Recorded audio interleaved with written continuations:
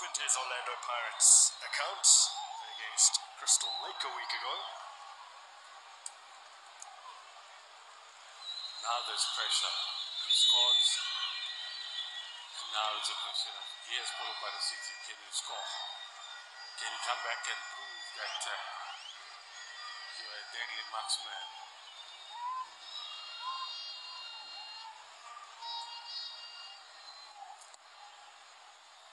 The ball in, causing problems and put away.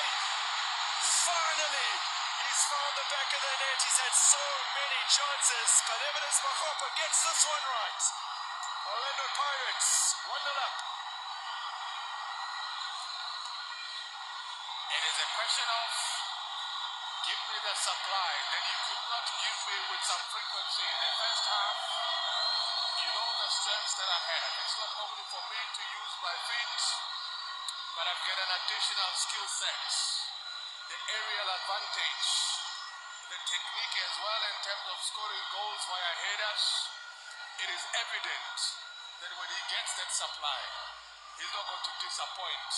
And he didn't. The positioning was quite good, exquisite delivery, good technique as well.